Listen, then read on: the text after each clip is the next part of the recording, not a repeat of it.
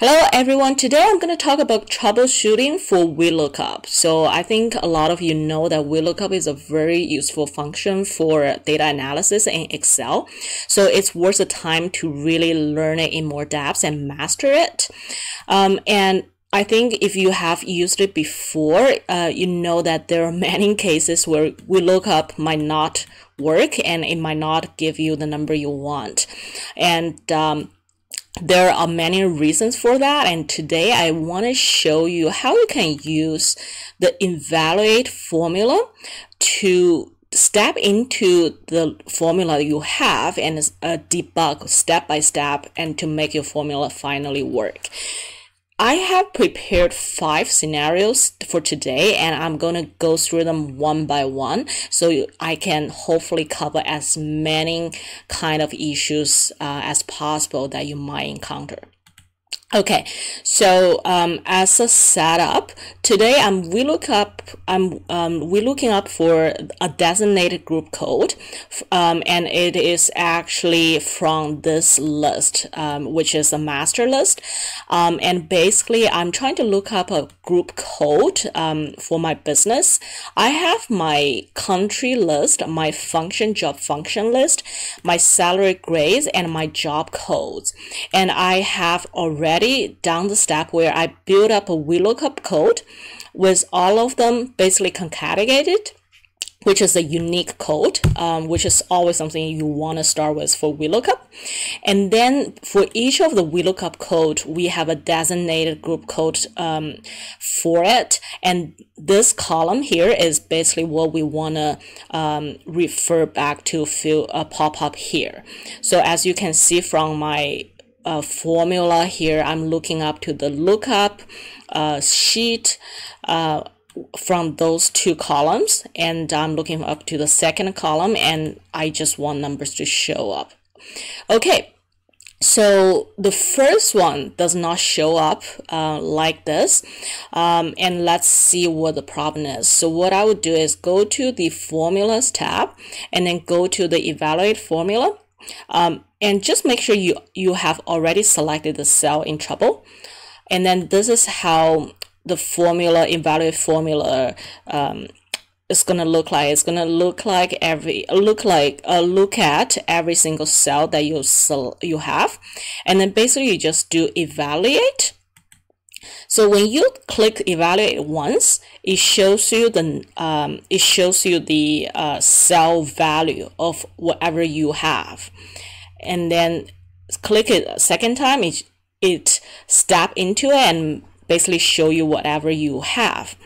And then step into it and show you what you have.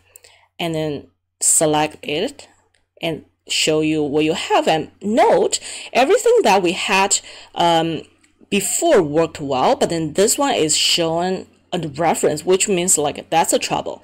So this is exactly the trouble where the issue is. If we don't have a proper lookup code, then we would not have a proper result, right? So this is so we now know that cell C14 is where the problem is. So let's go back, um, go to cell C14 and then let's see, okay, so it is true that cell C14 um, is not working. So it's linked to some other cell, uh, which is also a formula, but then this one does not work. So I would know that, okay, I need to make this cell work uh, in order to make this work. So that's what uh, that's how I can go to the uh, further debugging to look into this um, to look into this formula. But then for today, like just for simplicity, I'm gonna overwrite this to something that makes sense. Um, and then let's come up and see what the number is um, or actually um, if I select um, if I have a proper I know if I have a proper range I'm gonna have uh, exactly the code uh, the lookup code that we want. So let's test, uh, let's verify this from our lookup range. So we have United Kingdom IT and the salary grade 10 and job code 110. And then let's look into our um, lookup range. Yeah, so you see this is the range that we're looking at. Um, and it should return 19 and then that's exactly what we have here okay so that is how we fix the first one. Um, so let's look at now look at the second one. So it's still also um, not working. So let's also step into our formula evaluate it. Um, evaluate first El Salvador IT 5102 um, and it's not working. So so it looks like the lookup um, number is right um, and we also can see that we have IT uh, El Salvador IT5. We have the VLOOKUP code and we have the designated group, but it's not showing here. Why is that? So let's go back um, and then look at um, the values one by one. Okay, so now you see I have um, evaluated the lookup value and then it looks like El Salvador IT5 102. And then let's go back to the uh, lookup here. Do you see any difference here? Um, this is a very tricky one because not everyone can visualize this very easily because what we are missing here or what's wrong here is actually we have a space here. Do you see that? We actually have a space in between El Salvador and IT.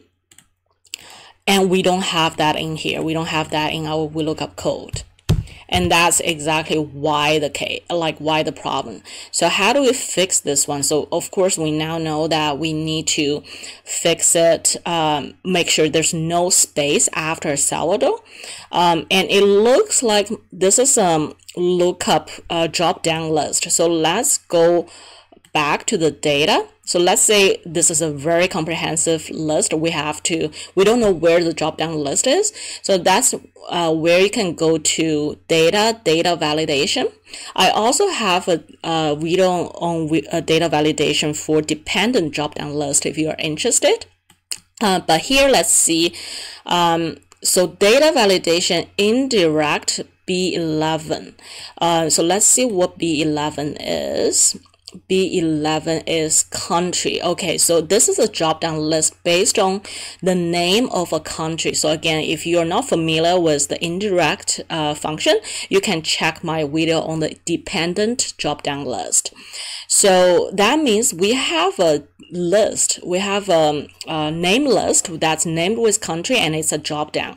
So where I would do is I will go here uh, for the names. I will select country and it brings me to the drop down list that we are using for this. And then actually go to El Salvador, double click. Do you see the, uh, do you see, do you now see the um, space there? Let's close it, enter. And then now we should not just reselect this and then you see we have the desired uh, group code that we want. Okay, so that's the second scenario, and now let's move to the third. Uh, for the third one, um, it looks like we have the right uh, selection for everything, but then um, it is still not um, not working for the range. So let's check uh, in our original range to see if anything's wrong there. So UK IT 5 and then job code is 110. So let's look into our lookup range for UK. And then we want to look for UK IT 5 and 110. And do you see the problem here? The problem here is that we actually do not have such a range. And that's why the lookup wouldn't work. So you can either um, fix it on the other end or you can also say like maybe just add the proper range and let's say look up to 19 and then you see okay so now it is looking upright. So that's one thing to check like the original lookup range might not be right um, and that could be the result that you can't find the desired code. Okay, so let's move to the fourth one. So um, it looks like, well, it's that's something we have, that's something we have in the range. Um, that's everything we have, but like, why is my range not, like, why is my lookup not working? Um, and actually, um, if you look up here, you can see that your lookup code is perfect, right? but then you still don't get a result. And that's a sign that your range is not uh, correct. So now we have already confirmed that the range itself is there, right? Like it is there.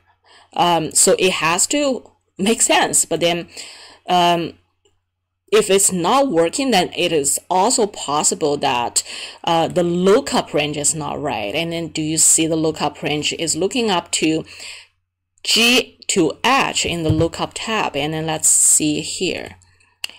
Okay, so it's actually looking at those two tabs and that uh, two columns versus like, no, we actually want you to look up to the column E to F.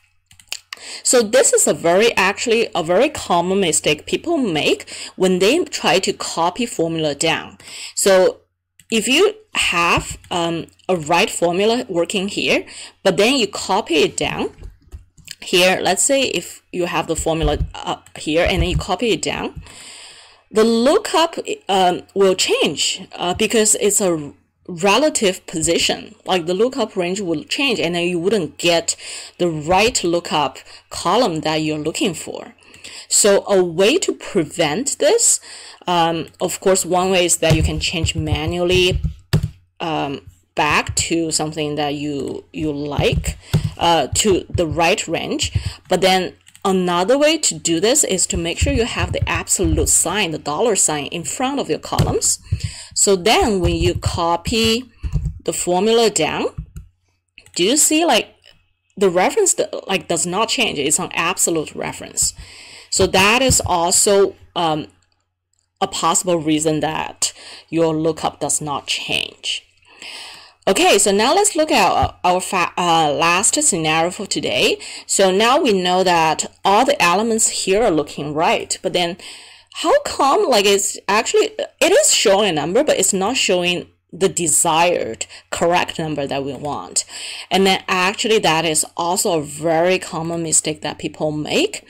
Um, which is you do not uh, or you forget to add the true or false uh, after the range reference. And um, most of the time, you would need to choose false, which is the exact match, or zero, to make sure that you're looking at the exact match that you're looking for. If you forget to put in the zero, then sometimes Excel will put up a, approximate match, which is which could be a number, but it's not something that you're looking for, right? And you would almost always want a um, exact match for your data reference.